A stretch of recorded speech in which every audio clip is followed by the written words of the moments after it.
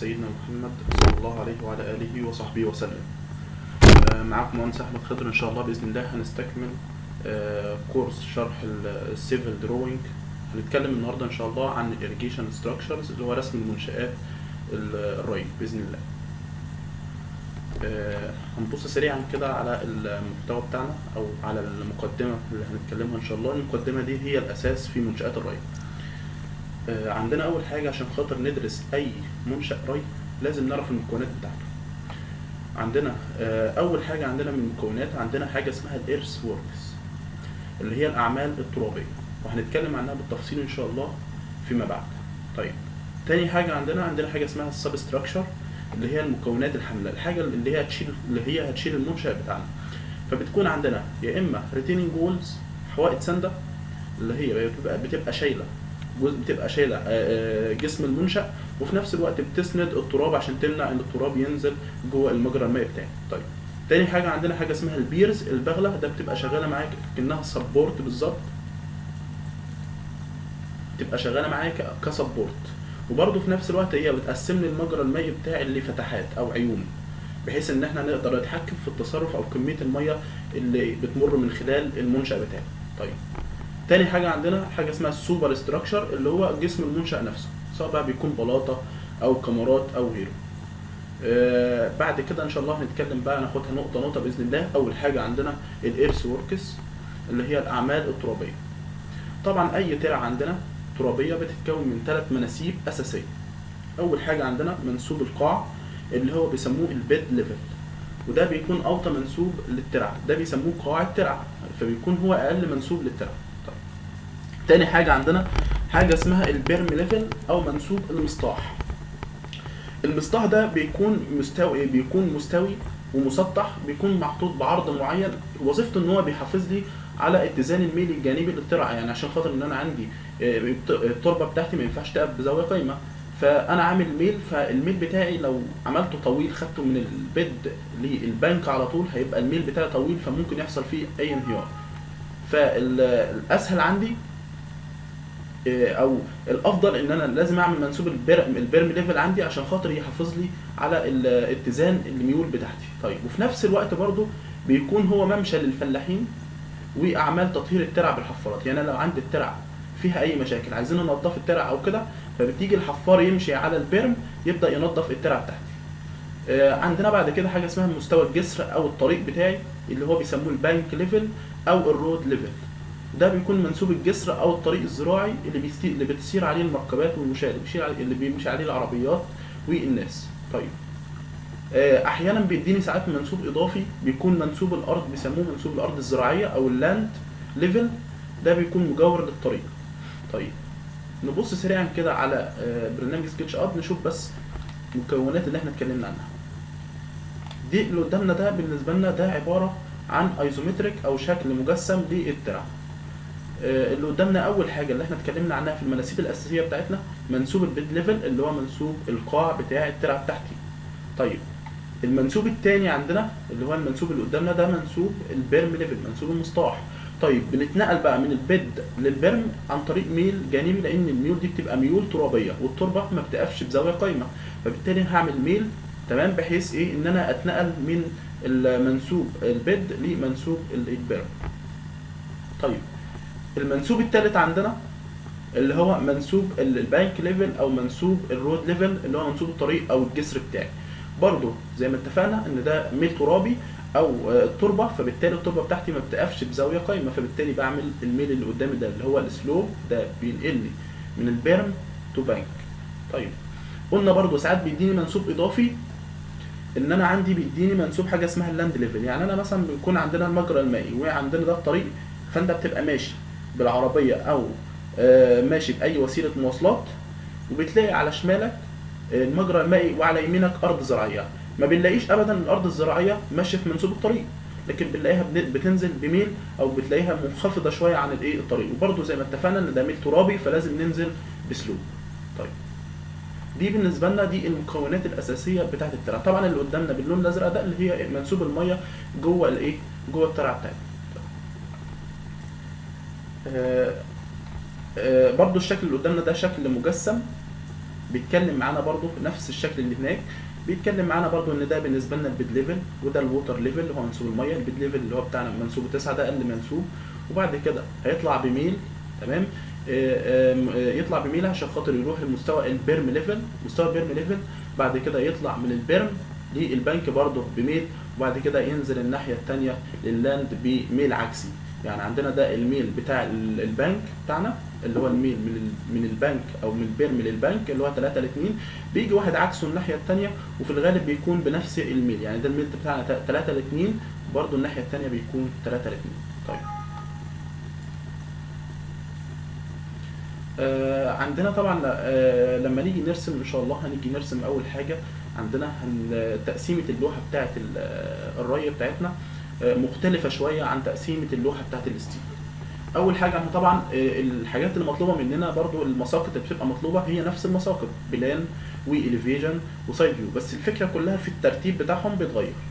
طيب لو إحنا بصينا من فوق كده للمجرى المائي بتاعنا هنشوف إيه؟ هنشوف ال plan.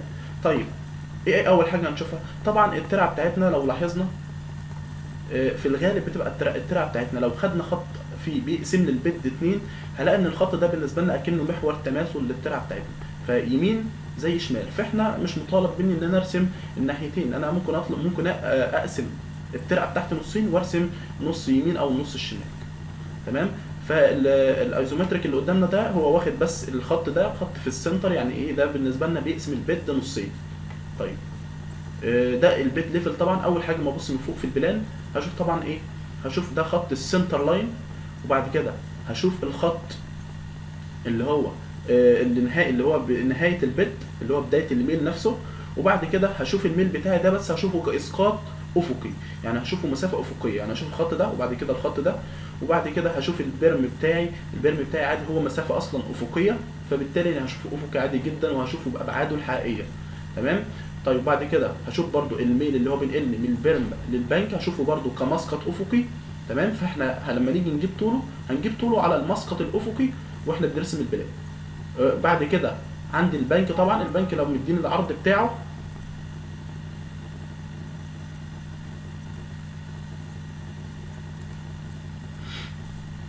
البنك بالنسبة لي لو مديني العرض بتاعه باخد العرض بتاعه بقيسه تمام؟ وبرده البنك بالنسبة لي بيبان عندي بالبعد الحقيقي بتاعي لو إن هو أصلا آه، مسقط أفقي أو هو مسافة أفقية. نبص كده سريعا على الرسم آه، لوحة الري. لما نيجي نرسم لوحة الري لوحة الري دايما بتترسم آه، ب scale. يا إما 1 ل 50 يا إما 1 ل 100 طيب. آه، هنبص برضو كده سريعا للفرق ما بين آه، لوحة الري وما بين لوحة ال steel. لوحة ال steel العادية اللي هو ال steel drawing بتاعنا بنرسم elevation وتحته ال plan وجنب ال elevation بنرسم ال side view بتاعنا. طيب.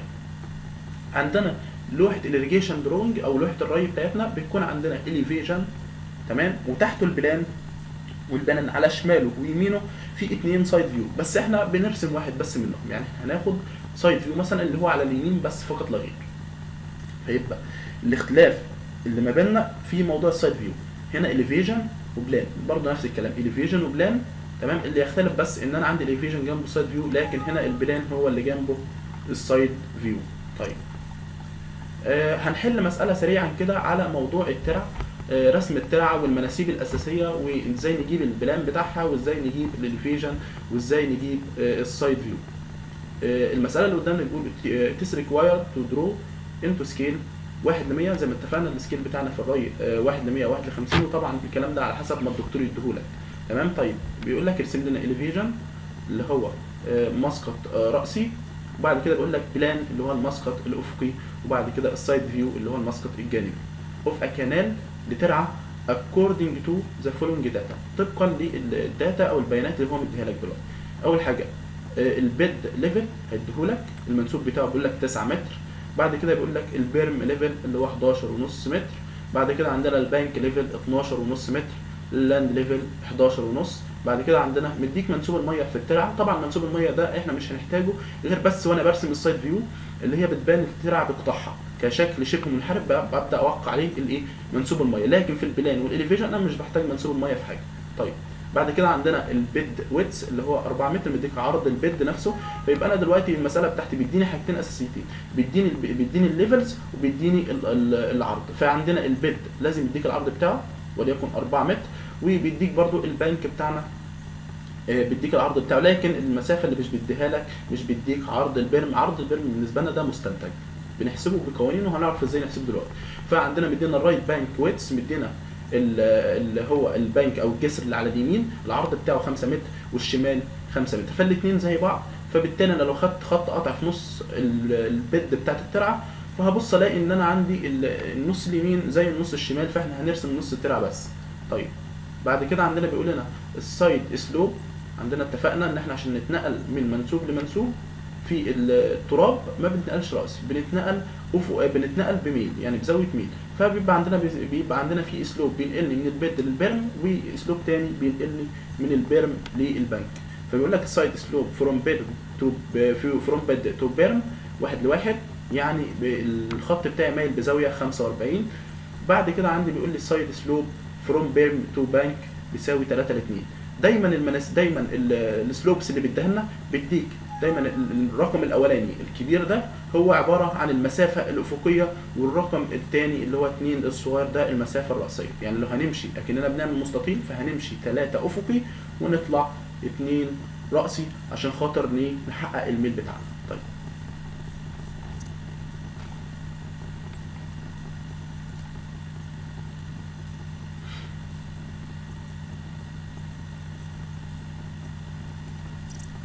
طيب قدامنا ال- الرسمة اللي قدامنا دي هي عبارة عن رسمة ال data اللي إحنا اتكلمنا عنها دلوقتي. أول حاجة طبعا هنرسم إيه؟ أول حاجة عندنا بنرسم إيه ال side view فإحنا ال side view بالنسبة لنا ممكن نرسمه الناحية دي أو ممكن نرسمه الناحية. إيه مش فارقة. طيب أول حاجة عندنا هنرسم خط أفقي اللي هو ال bed بتاعنا. طبعا اتفقنا إن إحنا هنرسم نص الترعة فالخط ده بالنسبة لنا هو خط center line خط center line هو خط منتصف الترعة. طيب أول حاجة هنقيس المسافة بتاعتنا. اللي هي آه، مسافة ال bed ال bed طبعا زي ما اتفقنا ده center line فبالتالي أنا هقيس نص عرض ال bed ال bed مديهولي 4 متر فأنا هقيس 2 متر. طيب بعد كده عايزين نعمل إيه؟ بعد كده عايزين نعمل ال slope بتاعنا اللي هينقلني من ال berm لل bed فطبعا هنقيس الأول المنسوب بتاع ال berm. أنا المنسوب بتاع ال bed بتاعي هو مديهولي 9 فأنا افترضت إن هو منسوبه 9 طيب مديني الخط الثاني اللي هو منسوب ال bed اللي هو الخط الأفقي ده منسوبه آه، 11 ونص. طيب فأنا هرسم هشيل أول حاجة هجيب الخط الأفقي ده هنرسم أي خط أفقي على مسافة كام؟ اللي هي فرق المنسوبين. 11 ونص ناقص 9 اللي هو هيديني 2 ونص متر أرسم خط أفقي. طيب أنا عايز أجيب حدوده يبقى أنا لازم أرسم الميل بتاعي الأولاني. الميل بقى هرسمه إزاي؟ إحنا اتفقنا إن الميل الأولاني اللي هو from bed to berm الميل بتاعنا واحد لواحد يعني بزاويه 45 فهاجي من نقطه نقطه من نقطة النهاية. نقطة نهاية ال bed يعني أنا قست مسافة 2 متر اديتني نقطة هنا في نقطة نهاية هبدأ آخد منها بمثلث زاوية 45 أو همشي. واحد أفقي وواحد رأسي يبقى أنا جبت نقطة ثانية أبدأ أوصل نقطتين ببعض لغاية لما خط الميل بتاعي يقطع البرم يبقى ده كده بداية البرم بتاعي وأي زيادات في الخط ورا أشيلها. طيب. بعد كده أنا عايز أرسم آه، عايز أجيب عرض البرم بتاعي. فعرض البرم بتاعي مستنتج. إحنا ممكن دلوقتي نحسبه من الرسم أو ممكن نحسبه بالقانون. إحنا حاليا دلوقتي هنحسبه هنحسبه من الرسم وهنقول برضو إزاي نحسبه من القانون.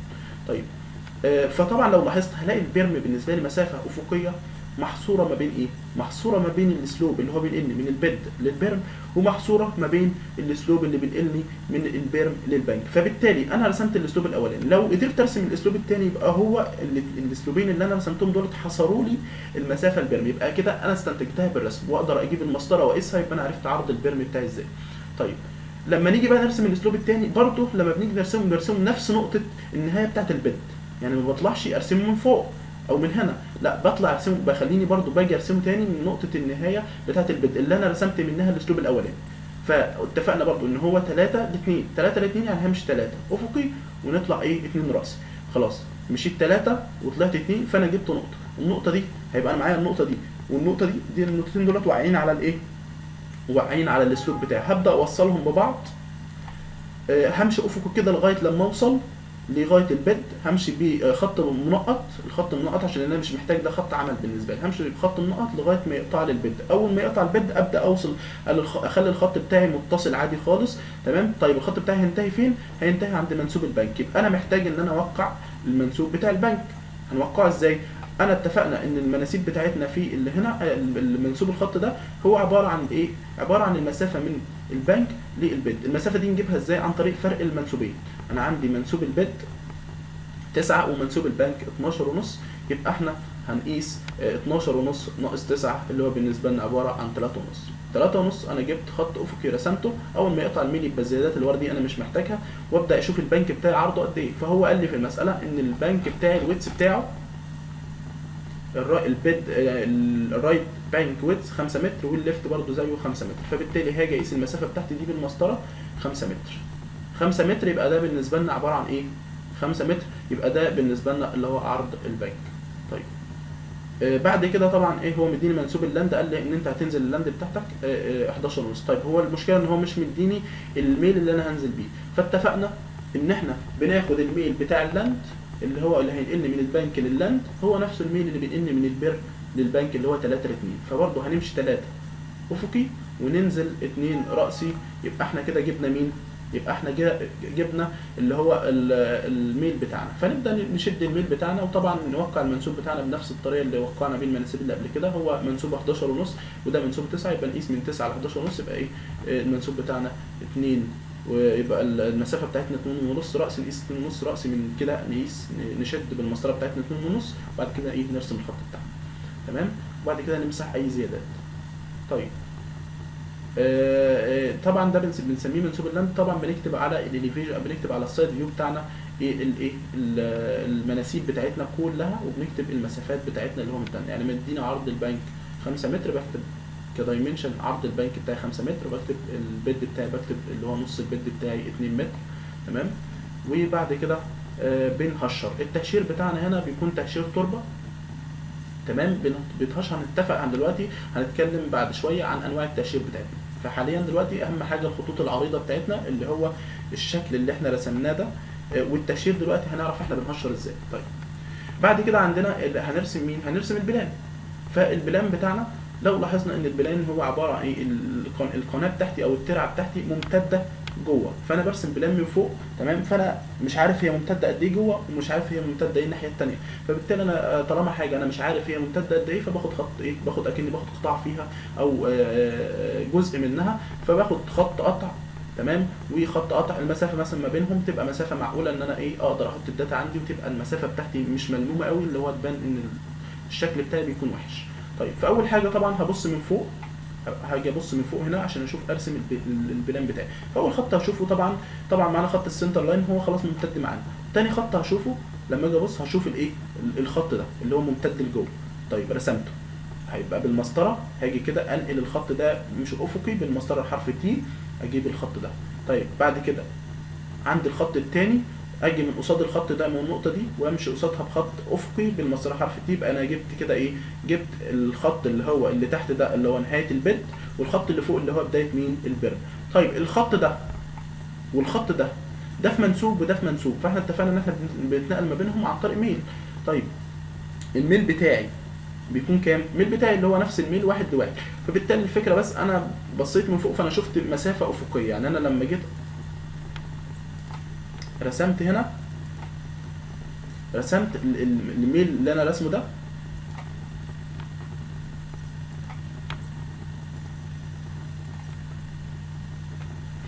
الميل بتاعي اللي هو اللي هو ده كده. اللي هو اللي هو بالنسبة لنا الميل ده. فأنا لما بشوف المسقط الأفقي بشوف إيه؟ بشوف ال- ال- الحتة دي كده. دي كده اللي أنا بشوفها. الجزء ده. فبالتالي أنا بحتاج إن أنا أجيب الإيه؟ الإسقاط بتاعه على الافقي طبعا هنتكلم دلوقتي في القوانين وهنعرف كل كل بعد إحنا جبناه إزاي. طيب. بعد كده طيب بعد كده عندنا مين؟ بعد كده عندنا طبعا البيرم بتاعنا طبعا البيرم خلاص إحنا راسمين بكل بساطة بس هناخد نقطة من هنا وأدي النقطة بتاعتنا دي إحنا رسمنا الخط ده كده. وأدي النقطة الثانية هرسم الخط الايه الثاني ده نكمل معايا يبقى كده المسافة دي بالنسبة لي عرض الايه ال berm بتاعي ونكتب عليه المنسوب بتاعه طيب بعد كده عندنا مين؟ بعد كده برضو عندنا الميل إحنا رسمنا بداية الميل ونرسم نهاية الميل اللي هو هناخد من قصاد النقطة دي خط افق كده. طيب طبعا ده ده في منسوب ده في منسوب. فبالتالي ال- المسافة ما بينهم ده بالنسبة لنا عبارة عن ميل يبقى المسافة دي كده هي عبارة عن المسافة الإيه؟ اللي هي دي اللي هي إسقاط على الأفق. طيب. بعد كده عندنا البنك بتاعنا. البنك بتاعنا منسوبه 12 ونص وعرضه 5 متر فبالتالي أنا خلاص أنا رسمت بدايته. هجيب بس النقطة اللي في النهاية يبقى أنا كده إيه؟ رسمت البنك والميل اللي هنا برده بنفس الطريقة. أجيب النهاية بتاعته أهو والمسافة بتاعته اللي هي دي كده. وبعد كده البنك بتاع اللاند بتاعتنا ممتدة بقى إلى ما لا نهاية جوه. فأنا مش إيه هاخد بس جزء منها كده 1 سم أو 2 سم وبعد كده أعمل خط قطع تمام؟ واكتب طبعا المناسيب بتاعتنا ونكتب الميول. الميول دلوقتي هنعرف الميول برده بتتكتب إزاي. طيب. طيب بعد كده هنبص على مين؟ بعد كده هنبص على مين؟ على ال elevation ال elevation بتاعنا أكني واقف هنا كده واقف كده وببص في الاتجاه ده كده. فأول حاجة أشوف الخط ده وأشوف المنسوب ده والمنسوب ده. فهم ثلاث خطوط. بشوف ال elevation دايما بنشوف فيه المناسيب بتاعتنا. وبنشوف المناسيب بتاعتنا كابعاد حقيقية يعني فرق منسوبين على طول. 9 والتاني 11 ونص. يعني المسافة بينهم على طول 11 ونص ناقص 9 يبقى أنا كده شفت المنسوب اللي هو الخط ال bed وشفت خط ال berm وشفت خط البنك. طيب فرسمنا ده الخط أهو. وطبعا الفيجن بيبقى بيبقى فوق ال plan زي ما اتفقنا. ادي خط اللي هو ال bed منسوبه 9 وبعد كده هنطلع نجيب مين؟ نطلع نجيب منسوب ال- ال berm بتاعنا اللي هو 11 ونص. يعني هنقيس المسافة دي اللي هي عبارة عن 2 ونص نقيسها وبعد كده ناخد الايه؟ ناخد الخط بتاعنا. وبعد كده من البرم للبنك طبعا المنسوب بتاع البنك 12 ونص وده منسوب 11 ونص بالمسافة بينهم 1 متر. تمام؟ طبعا بسكيل 1 ل 100 يعني اللي هي 1 سم طيب فهنبدأ إيه؟ نقيس الايه؟ نجيب الخط ده. طيب أنا برضو آه، الخط ده من الخط ده للخط ده في منسوب وده في منسوب فاللي بينقلني ما بينهم بينقلني ما بينهم ميل عشان خاطر كده أنا هشرت هنا تهشير ميول. نفس الكلام برضو ده خط وده خط في منسوب وده في منسوب فبالتالي ما بينهم ميل بالبطني فأنا عشان خاطر كده هشرت تهشير الميول عشان أعرف اللي بيبص إن ده إن ده ميل إن ده مش مسافة أفقية لأ ده ميل. تمام؟ بنكتب الميول بتاعتنا عليه الميل الأولاني بتاعنا واحد لواحد ادي الميل أهو واحد لواحد وبعد كده الميل الثاني 2 ل 2 ونكتب 3 ل 2 وبعد كده بنكتب المناسيب بتاعتنا اللي هي البنك 12 ونص والبان 11 ونص وال bed 9 ونص. المسافات طبعا دي المسافات دي إحنا بنحسبها مش بتتكتب على الرسم. فإحنا آه، فكرة بس إحنا موضحينها هنا عشان خاطر الشرح بس مش أكتر. لكن عندنا المسافة دي كده هي عبارة عن منسوب ال berm ناقص منسوب ال bed اللي هو زي ما اتفقنا 11 ونص ناقص 9 اللي هو اداني 2 ونص متر. والمسافه دي كده هي عبارة عن منسوب ال- البنك ناقص منسوب ال berm فاللي هو 12 ونص ناقص 11 ونص. ادانا إيه؟ ادانا المسافة دي. يبقى ده بالنسبة لنا عبارة عن إيه؟ ده ال elevation طبعا ال elevation طبعا الخط ده لو بصينا كده هيبقى تحته تربة. فبنهشر تهشير التربه اللي هنعرف أنواعهم دلوقتي هنعرف أنواع التهشير دلوقتي. طيب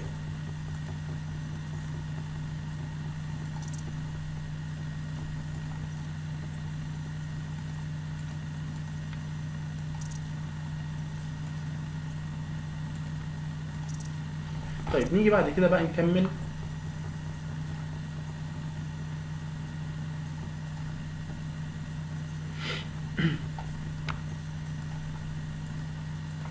نيجي بس نكمل بعد كده إيه إحنا طبعا خلاص إحنا رسمنا الرسمة بتاعتنا. هن... هنتكلم هنرجع لها تاني أصلا اما نيجي نوضح آه، الموضوع الميول والكلام ده. فإحنا بس الأول بس آه، هنتكلم عن شوية ملاحظات. طبعا اتفقنا إن لا يمكن للأتربة أو التراب بتاعنا إن هو يتزن على مستوى رأسي. يعني التراب بتاعنا. لو عندنا حفرة بالمنظر ده حفرنا حفرة بالمنظر ده ما ينفعش لو أنا عندي تربة بتاعتي تربة آه، تراب التراب بتاعي مش هيقف الجنب بتاعي مش هي... مش هيقف راسي بالمنظر ده. فهتلاقي الجنب بتاعي يبدا يهيل بميول.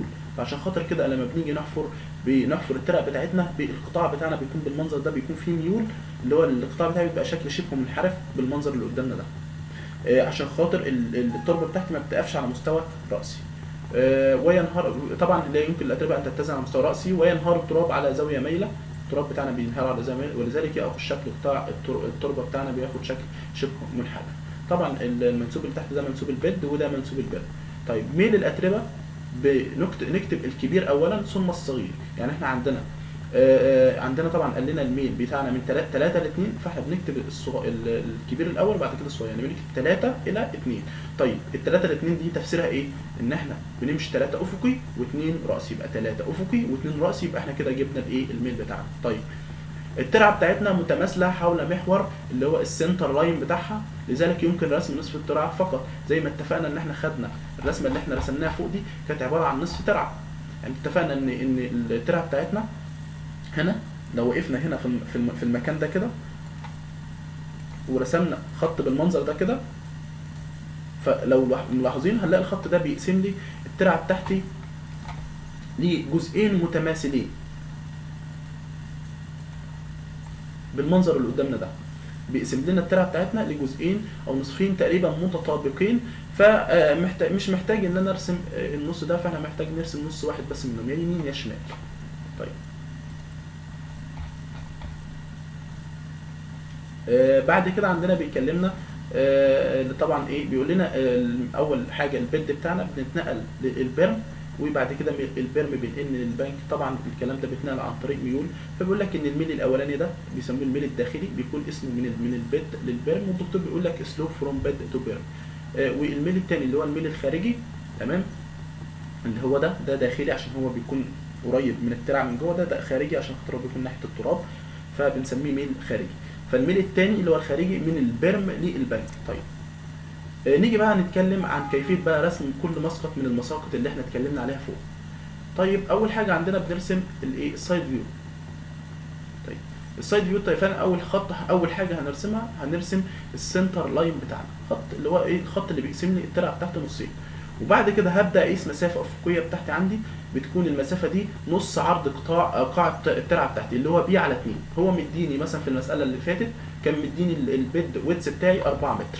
فعشان خاطر كده إحنا رسمنا إيه؟ 2 متر طيب لما مشيت أنا عندي وقست 2 متر إداني نقطة هنا هنسمي النقطة بتاعتنا دي نقطة A تمام؟ وبعد كده إحنا عايزين نجيب المنسوب الثاني اللي هو منسوب مين؟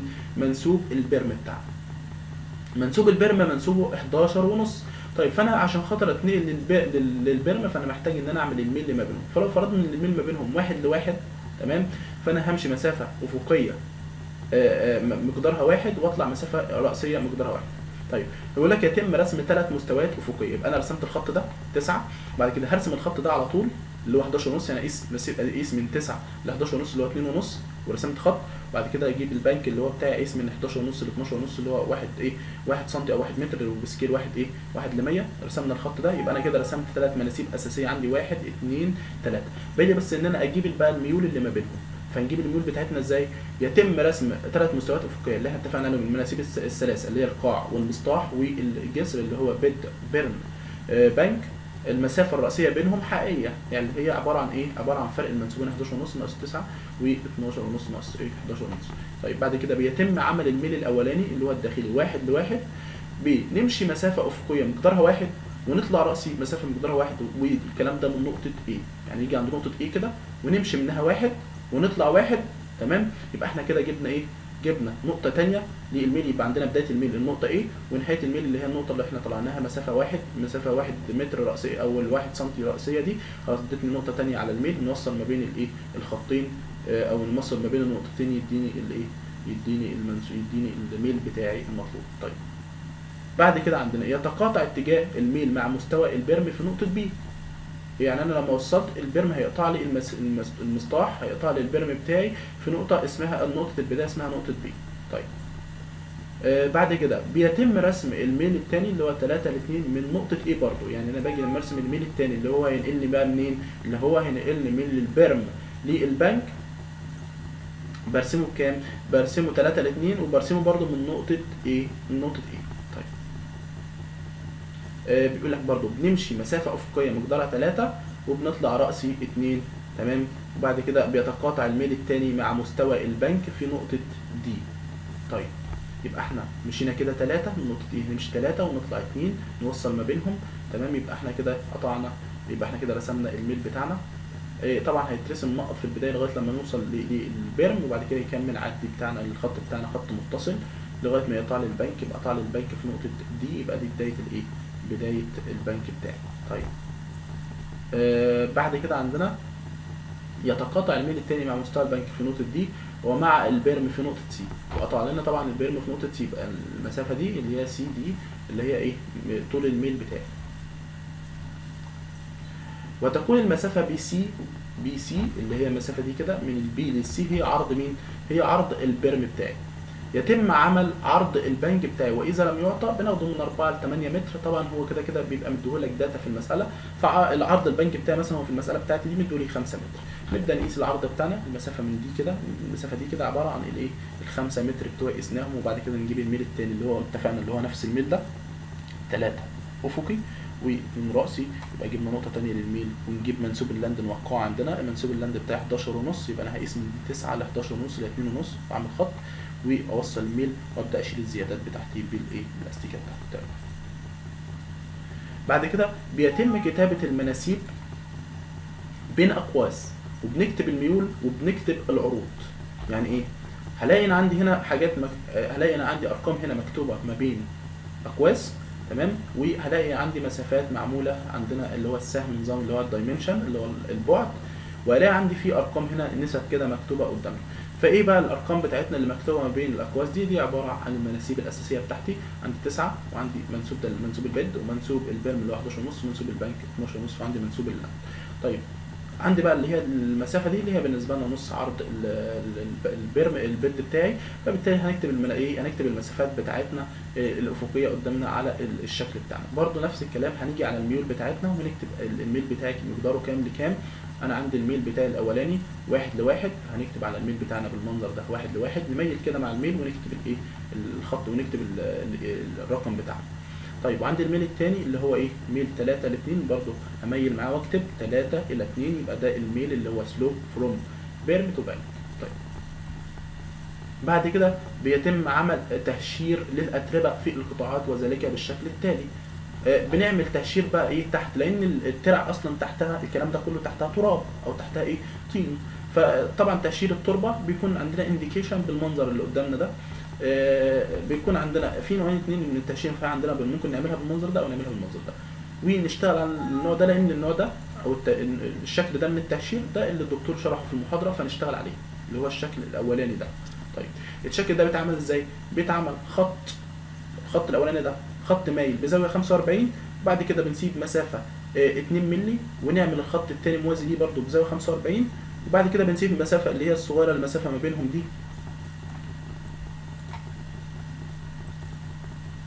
اللي هي المسافة دي كده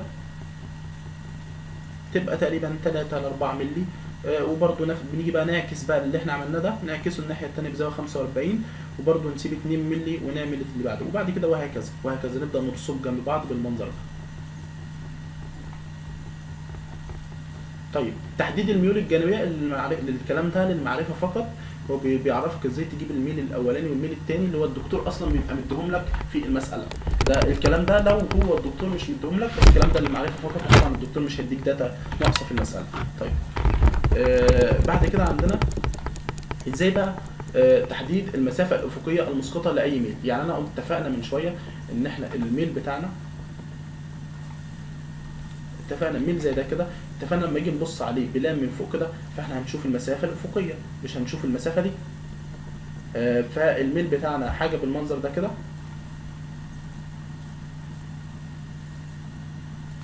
آدي الميل. لما أجي أبص عليه من فوق كده plan هبدأ مش هشوف الإيه مش هشوف الميل بتاعي هشوف بس المسافة اللي هي الإيه هسقط النقط دي كده على على الأفقي فهشوف المسافة دي كده.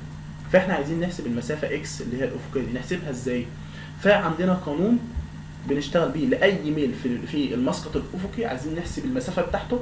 القانون بتاعنا قانون ثابت بيقول لنا عبارة عن إيه؟ آه، السلوك بتاع المسافة X بتاعتي بتساوي فرق المنسوبين في الميل.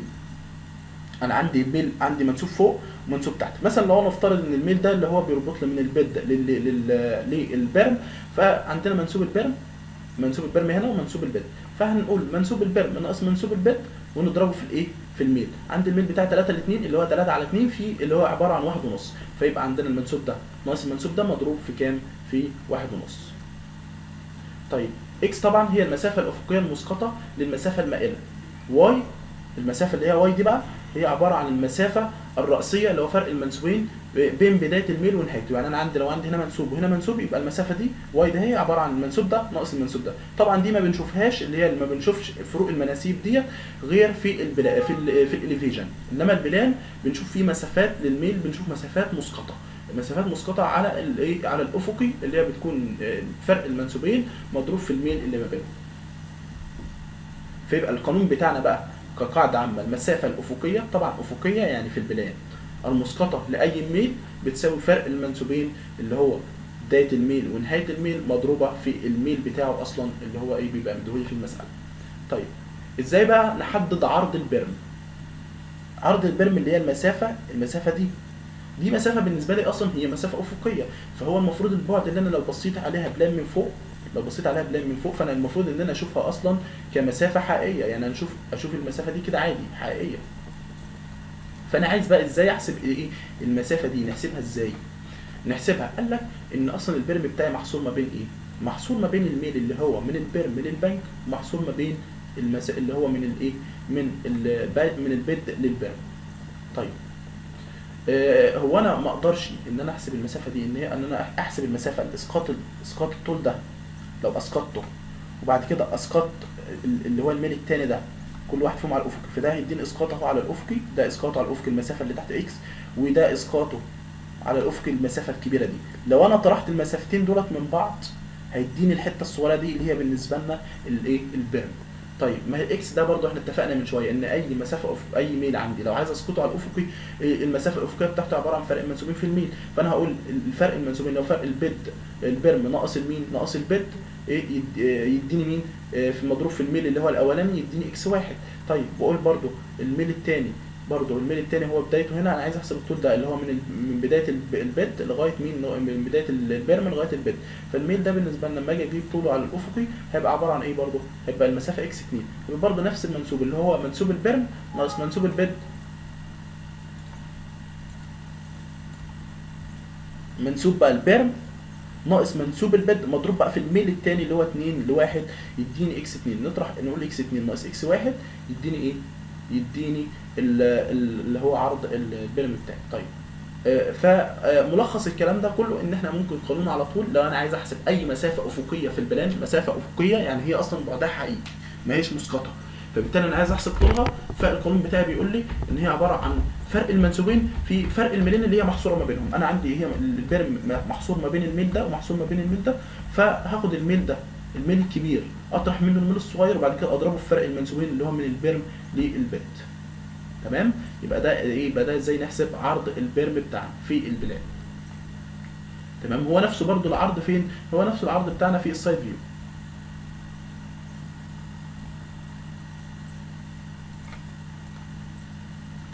طيب.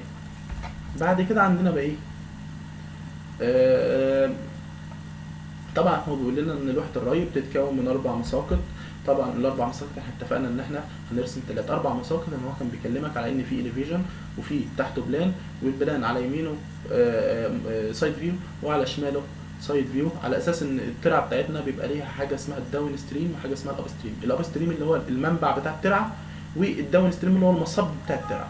فبياخد هو بيبص من ناحيتين فبيرسم اثنين side view لا لكن إحنا هنكتفي ب side view واحد هنبص من أي اتجاه نجيب ال side بتاعنا. طيب. ف اثنين بقى عندنا طبعا بيكلمك إن في plan اللي هو مسقط افقي للأتربة بيديك اسقاط افقي للأتربة التراب طبعا عبارة عن ميل فبيجيب لك المساقط الأفقية بتاعته الميول بتاعتنا والمسافات الأفقية زي الحقيقية بتاعتنا زي البرم وزي البنك وزي ال bed يبقى عندنا المسافات الحقيقية في كمسقط أفقي اللي هي ال bed وال berm وال bank وبعد كده الميول اللي ما بينهم دي بتبان كإسقاط أفقي على الأفقي اللي هي القانون بتاعها فرق المنسوبين مضروب عندنا في الميل. بعد كده عندنا الحوائط بتاعت المنشأ بتاعنا هو عندنا المنشأ نفسه. طيب. بعد كده عندنا ال section بنرسم بقى حاجة اسمها section elevation قطاع رأسي بوضح فيه الأتربة والحوائط والمنشأ. بوضح برضو المكونات بتاعت المنشأ بتاعي. طبعا أي منشأ في الدنيا اتفقنا إن هو بيتكون من تراب اللي هو طبعا قبل ما أخش المنشأ نفسه بيبقى الترعة بتاعتي ميول ترابية عادية قطاع ترعة عادي. اللي هو زي ده كده بالظبط. لغاية لما أخش على المنشأ يبدأ يبني بقى المنشأ بتاعه. المنشأ بتاعه اتفقنا إن هو بيعمل حوائط ساندة اللي هي retaining wall عشان خاطر يمنع التراب إن هو ينزل المجرى المائي بتاعه. وبعد كده بيبني بقى الإيه جسم المنشأ نفسه اللي هو يبدأ بقى يصب بقى خرسانة سواء بقى يصب كمرات ويحط عليها بلاطات. وطبعا بيبقى عندنا ال piers البغلة. لو أنا عايز أقسم المجرى بتاعي لنصين وأتحكم في التصرفات. وبرده بيقلل لي البحر شوية فبيخف معايا التسليح. وبيخلي الموضوع اقتصادي أكتر يعني. طيب آه بعد كده عندنا ثلاثة آه آه هنرسم بقى حاجة اسمها ال upstream side view طبعا اتفقنا إن إحنا هنرسم مسقط إيه؟ هنرسم side view واحد بس فمالوش لازمة الكلام ده كله. إحنا بس هنتكلم أي كمسقط واحد اللي هو side view بيكون عبارة عن مسقط جانبي للترعة.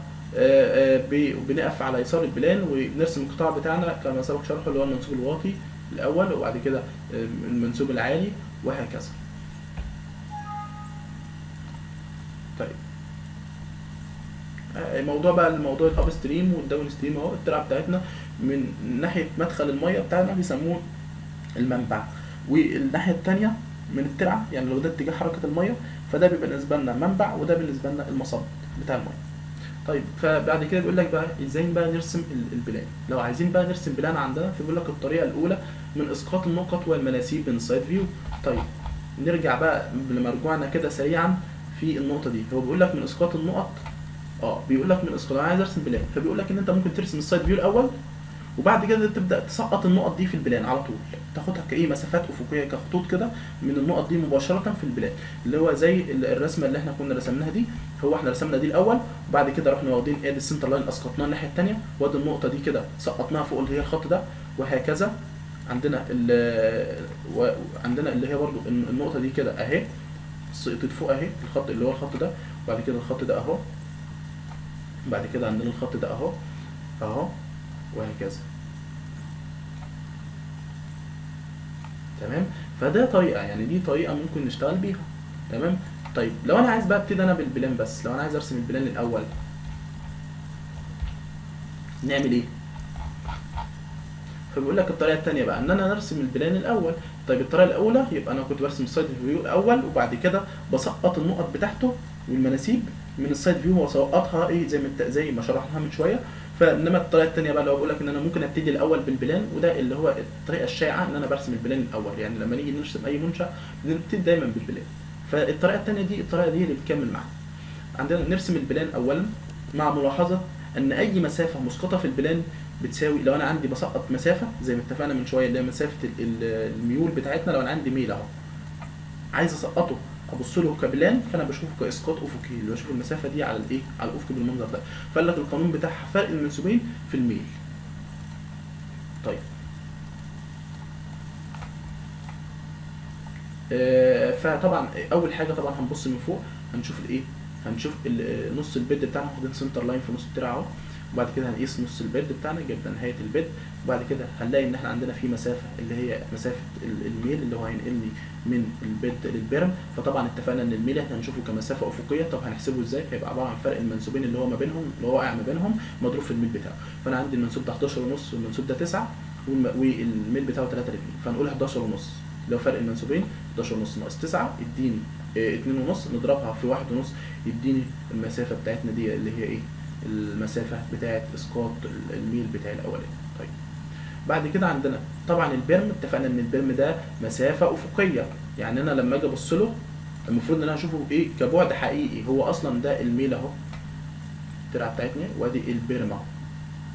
فلما لو أنا باصص من فوق أصلا تمام؟ هشوفه أصلا بطوله الحقيقي. طيب هو مشكلته إن هو إيه لما عايزين نجيب الميل بتاعه عايزين نجيب الطول بتاعه فهو محصور ما بين الميل الأولاني اللي هو من من ال bed ده لل berm واقع ما بين الميل الثاني اللي هو منين؟ اللي هو هينقلني من ال berm لمين للبنك. فبالتالي القانون بتاعه سهل جدا بيقول لك فرق المنسوبين في فرق الميلين منسوبين إيه بقى اللي عندنا؟ منسوب ال berm ناقص منسوب ال bed فرق الميلين اللي هو ما بينهم. هو ما بين الميل ده والميل ده. فبناخد الميل الكبير منهم ونطرح منه إيه؟ الميل الصغير. فالمسألة بتاعتنا إيه، ال berm عندنا منسوب ال berm كان 11 ونص ومنسوب البيت عندنا كان 9 ففرق المنسوبين اللي هو 11 ونص ناقص 9 يدينا 2 ونص. تمام؟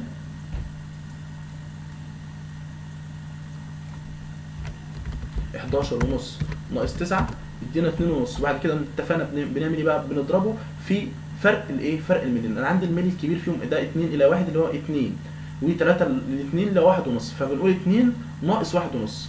يبقى الكلام ده مضروب في 2 ناقص 1 ونص اللي هي عبارة عن إيه؟ نص.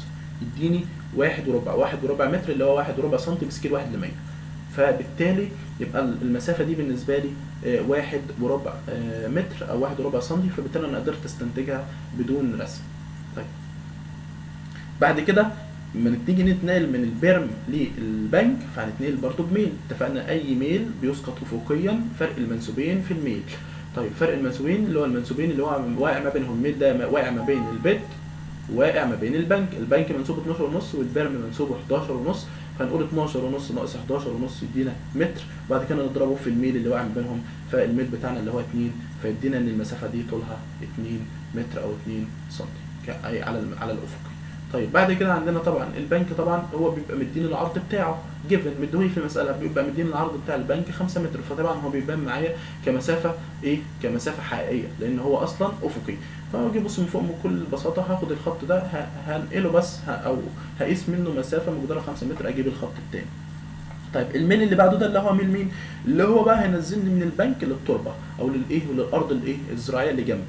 اتفقنا برضو إن إحنا لو الميل ده مش مديهولي ممكن آخده إيه؟ نفس الميل ده. طيب هو مديهولي خلاص بشتغل بيه الميل اللي هو مديهولي على طول. فبالتالي أنا عندي منزل ل ال land أشوف إيه الميل ده واقع ما بين مين؟ ال- الميل ده واقع ما بين ال land والبنك. فأنا بالتالي أنا هشوفه كإسقاط أفقي. فهو أنا بنفس القوانين اللي إحنا عارفينها فرق المنسوبين في الميل.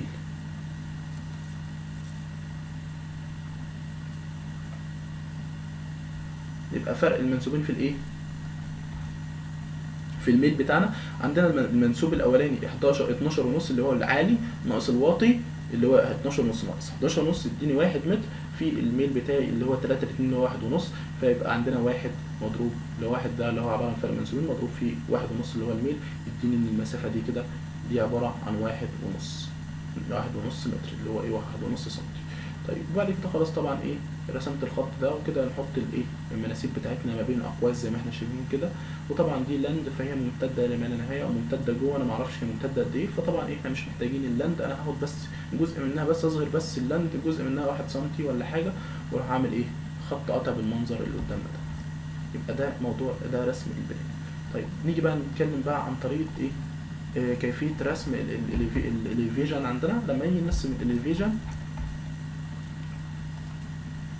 ال elevation بتاعنا أكننا واقفين هنا كده. هنقف كده ويكون اتجاه النظر بتاعنا.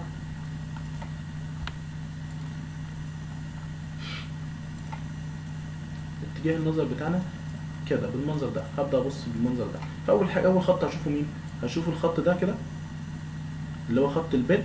وطبعا خط المية أنا قلنا في خط المية أنا مش محتاجه في الاليفيجن فأنا ما برسمش خط المية بشوف الخط الأساسي اللي بعده على طول اللي هو خط مين؟ خط بداية اللي هو البيرم نفسه تمام؟ وبعد كده بشوف مين؟ خط مين؟ البنك. فبالتالي بشوف ثلاث خطوط خط كده أول خط كده بالنسبة لنا الب- البيت بعد كده الخط اللي بعده اللي هو ال- بالنسبة لنا عبارة عن ال- البيرم وبعد كده الخط اللي بعده اللي هو البنك. طبعا المسافات دي تمام؟ أنا باصص كده فبشوف الميل بتاع ده على المستوى الرأسي كده بالمنظر ده. وده كده نفس الكلام اهو. طيب الم- المسافة ما بين على المستوى الرأسي دايما بتكون عبارة عن فرق المنسوبين فهي مسافة تعتبر مسافة بالنسبة لنا حقيقية.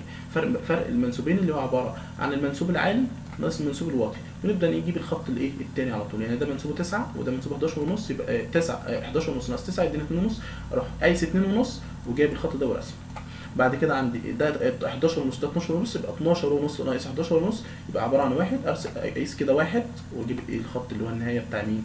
بتاع ال- البنك بتاعي. وأكتب بس عليهم المناسيب بتاعتي ما بين أقواس كده كل واحد المنسوب بتاعه.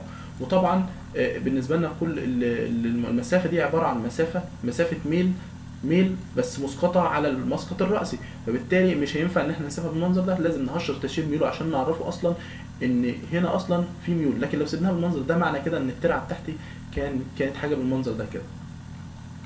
يعني إيه؟ الجوانب بتاعتها رأسية. فاللي يبص كده هيشوف الخط ده كده والخط ده كده. فهيشوف المسافة الرأسية. فأنا لازم أهشر إيه؟ تهشير الميل بتاعي اللي إحنا عارفينه اللي إحنا نقوله دلوقتي. كان دلوقتي قواعد رسمه وبنرسمه إزاي. طيب يبقى ده الميل بتاعنا بنكتب طبعا عليه الميل بتاعنا. الميل الأولاني مثلا كان واحد لواحد الميل الثاني اتنين لواحد مثلا أو ثلاثة لاتنين ايا كان الميل اللي هو مديهولي في المسألة خلاص طبعا المسافات بقى اللي هي دي كده دي لا تكتب. يعني المسافة دي كده ودي ما بنكتبهاش. دي بس إحنا بنعرفها لنفسنا كده بنحسبها. اللي هي عبارة عن فرق المنسوبين طيب فهنيجي نبص بقى سريعا نرجع للرسمة بتاعتنا. فنلاحظ ان إحنا أدي خط البيت ده أهو زي ما اتفقنا المنسوب الأولاني اللي هو 9 وبعد كده هناخد المنسوب الثاني اللي هو البيرم آه، الفرق ما بينهم عبارة عن 11 ونص فرق المنسوب بين 11 ونص ل 9 ونص وهكذا المنسوب اللي بعده. وبعد كده بنوقع الميول بتاعتنا زي ما إحنا شايفينها. وطبعا ده الترعه بتاعتي ممتدة. الترعه بتاعتي ممتدة.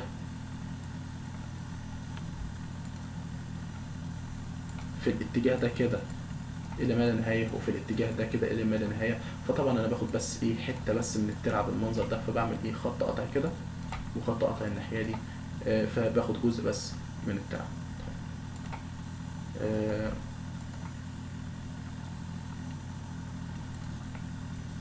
آه، زي ما إحنا شايفين ده بالنسبة لنا اللي هو خط القطع وبنكتب طبعا المناسيب بتاعتنا زي ما اتفقنا. فبيقول لك أول حاجة بنرسم خط البد مع تهشير الأتربة بنهشر التراب. التراب اللي هو تحت ده لأن البد تحته على طول تحته تراب. البد ده قاع الترع. فتحت القاع بيكون إيه في تراب فبنهشر تهشير الايه ال- تهشير التراب بتاعنا اللي هو بيكون بالمنظر ده. بعد كده نرسم خطوط ال berm على بعد رأسي يساوي فرق المناسيب نرسم خط البنك على بعد رأسي يساوي فرق المناسيب طبعا ما بين إيه, إيه البنك وال berm. تمام؟ بعد كده عندنا الملاحظات بقى. بيتكلم معانا على الملاحظات بيقول لك لابد من إضافة الميول للأتربة والحوائط مكتوبا عليها قيمة الميل وتهشير التراب. فأنا عندي هنا الميل ده تراب فلا لازم أهشر ميل التراب وأكتب القيمة بتاعته اللي هو مثلا الميل بتاعي 3 2 بكتب القيمة. لابد من كتابة المناسيب بجانب القاع والمسطاح والإيه والجسر. فأنا جيت هنا كده على منسوب ال bed ورحت كاتب المنسوب بتاعه وعلى ال berm وكاتب المنسوب بتاعه وعلى البنك وأكتب الإيه المنسوب بتاعه. طيب لا تكتب أي مسافة رأسية في ال elevation. يعني ما أجيش أكتب المسافات دي. يعني ما أروحش أعمل خط dimension وأكتب عليه المسافات دي أنا مش محتاجها. ونكتفي فقط بالمناسيب وك- وكذلك في ال plan ما بنكتبش أي حسابات. يعني في ال plan ما باجيش أكتب إيه المسافات دي يعني ما باجيش أكتب الحسابات دي الحاجات اللي أنا بحسبها. بكتب بس الابعاد الحقيقية اللي هو مديها لي اللي هو ال bed هو مديني ال bed ومديني مين؟ ومديني عرض البنك آه، فأنا ما بكتبش بقى الحاجات اللي أنا بحسبها اللي هو الميل ده على الافقي فرق المنسوبين في الميل ما بكتبش الحسابات دي ولا بكتبها ك dimension أنا بس مجرد إن أنا آه، بكتفي بوضع الإيه؟ بوضع المناسيب والميول اللي عندي والمسافات دي طبعا هي مسافات بتكون مسافات مستنتجة. آه، آه، بعد كده عندنا بنتكلم بقى عن حاجة اسمها أنواع التهشير في التربه عندنا. التهشير بتاعنا آه، في أول حاجة عندنا التهشير التراب.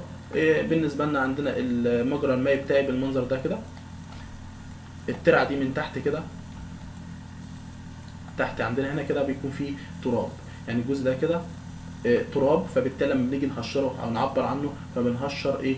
بخط مايل آه، بزاوية 45 زي ما اتفقنا. حاجة بالمنظر ده كده؟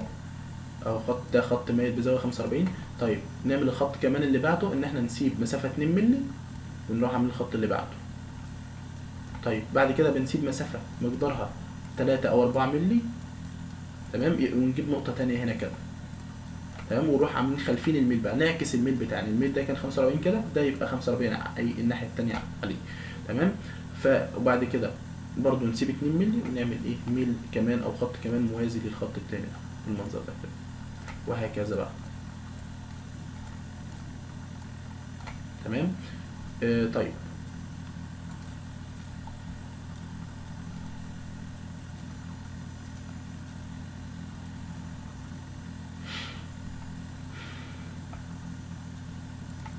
بيتكلم معانا برضو عن تهشير الطوب آه، تهشير الطوب ده إحنا مش محتاجينه دلوقتي. هو برضو لل- للمعرفة. تهشير الطوب لما باجي أقطع في طوبة ونيجي نهشرها بهشرها كأن الطوبة إيه؟ خطين موازيين لبعض ونسيب مسافة وخطين موازيين لبعض ونسيب مسافة وخطين موازيين لبعض. فالميل ده بيكون الميل الخطوط دي بتكون عند الميل 45 تمام؟ طبعا إيه؟ عندنا نوعين طبعا في تهشير التربه النوع ده والنوع ده. تمام؟ فإحنا ملتزمين بالنوع الأولاني ده عشان خاطر إيه؟ إيه ده النوع اللي هو الدكتور آه، شرح في المحاضرة. النوع اللي هو إيه؟ الاولاني ده كده. ده اللي مطلوب مننا إن إحنا نرسمه. طيب بعد كده عندنا إيه؟ بعد كده عندنا التهشير الخرسانة العادية. لو أنا عندي قاعدة خرسانة وأنا قاطع فيها يعني عندي قاعدة خرسانة بالمنظر ده كده. دي قاعدة مسلحة وطبعا أي قاعدة مسلحة بنحط تحتها إيه؟ بنحط تحتها قاعدة عادية بالمنظر ده. تمام؟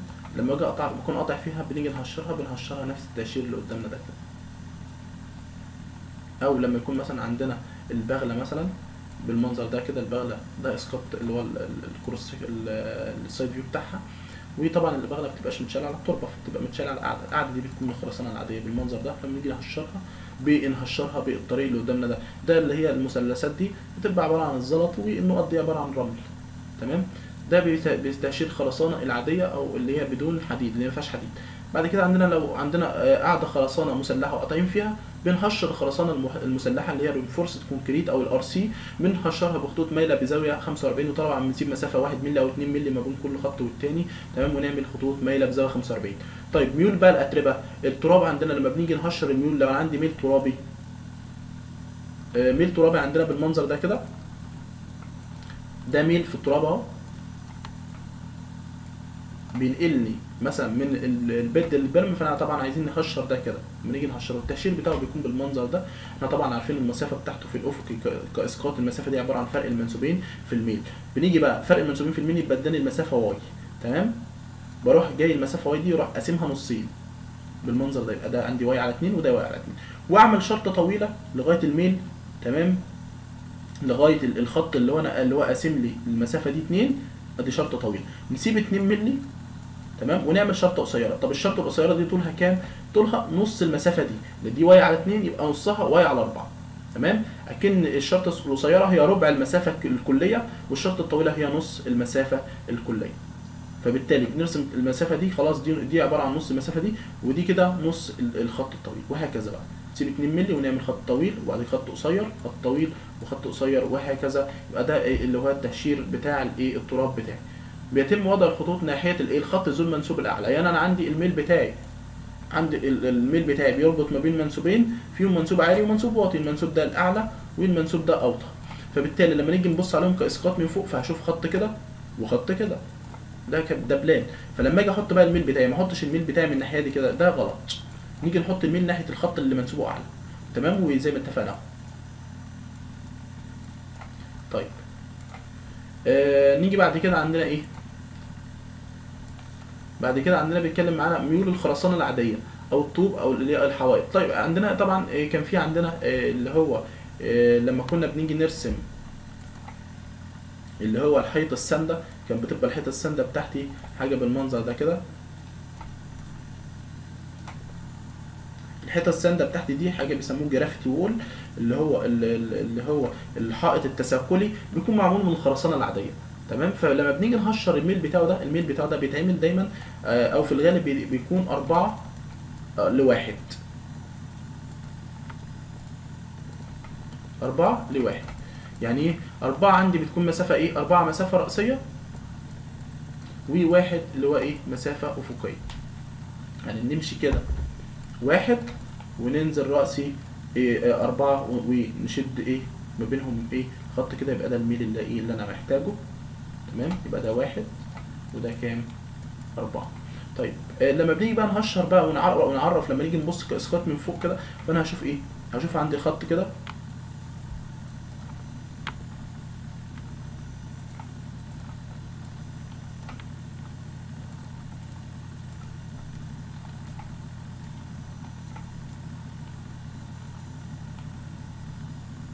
أجي أبص كده من فوق هشوف النقطة دي خط ممتد لجوه وده خط ممتد لجوه وده خط ممتد وده خط اللي هو بتاع الايه حدود القاعدة اللي شايلة الايه القاعدة اللي شايلة ال retaining wall بتاعي وده خط.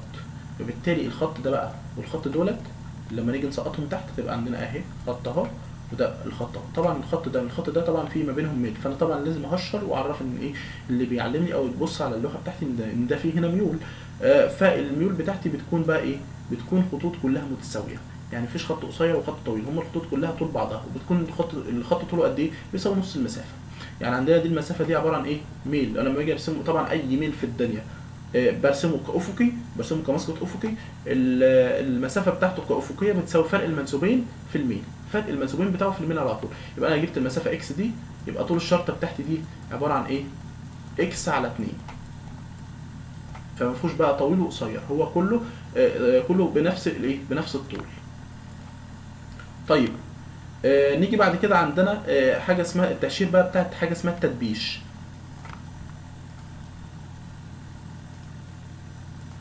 التدبيش. التدبيش دي حجارة بتبطن جوانب الترع يعني أنا عندي الترع الجنب بتاعها بالمنظر ده. لو أنا سبته تراب بالمنظر ده سبته تراب فاللي هيحصل؟ إن المية هتاكله. يعني المية ماشية جنبه عمالة تعمل نحر في التراب. تمام؟ فيحصل تهييل لل- للميل نفسه. الميل بتاعته الميل بتاعي ينهار فبالتالي باجي هنا وابدأ أحط إيه؟ أرص حجارة على الميل بتاعي بالمنظر ده كده. حجارة هنا في الجنب عشان خاطر أحافظ على الميل الترابي بتاعي إن المية ما تسببش انهيار للميل.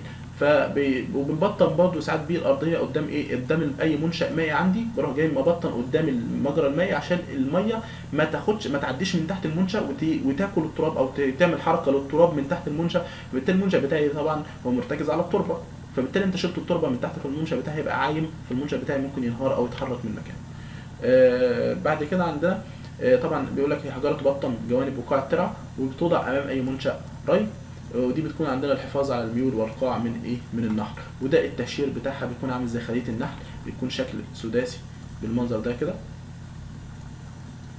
ودي بتتهشر بالإيد يعني ما بنقيسهاش بالمسطرة عشان ما نضيعش وقتنا. بالمنظر ده كده بإيدينا. تمام؟ بس نخلي بس إيدينا نضيفة في الرسم يعني ما تبقاش ما ترسمش ويبقى الرسم بتاعك شكله وحش. فارسمها بإيدك آه بس إيه؟ خلي إيديك ثابتة وأنت بترسم. طيب ده بيقول لك زي خليه النحل وده بيكون على شكل إيه؟ بيكون على شكل سداسي. وطبعا إيه إحنا ممكن نبص عليه سريعا كده على برنامج السكتش اب عندنا الميل بتاعنا أهو بالمنظر ده كده. تمام؟ فإحنا ممكن نوري التشهير بتاعنا.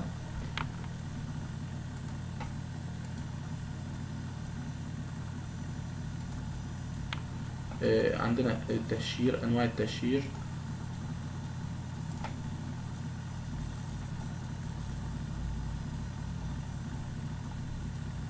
اهو إحنا ممكن ده شكل الايه؟ شكل الميل بتاعي أو شكل التهشير بتاعي بالمنظر ده كده. تمام؟ بنيجي على جوانب الترع بتاعتنا جنب الترع بتاعنا اللي هو الميول وادي ال berm ونيجي إيه؟ نهشر بالمنظر ده اللي قدامنا اللي هو شكل السداسي عامل زي شكل خلية النحل ده شكل التهشير بتاعنا في الترع شكل التهشير بتاع التدبيش بتاعنا. طيب. يبقى ده الجزء ده إحنا اتكلمنا عن مقدمة كده عن الري. المنشآت المائية أي ترع طبعا أي منشأ فقلنا بنتكلم بتكون من أعمال تربية فلازم الجزء اللي إحنا اتكلمنا فيه ده الجزء ده مهم جدا عشان تفهم أي مسألة ري لازم تذاكر الجزء ده كويس.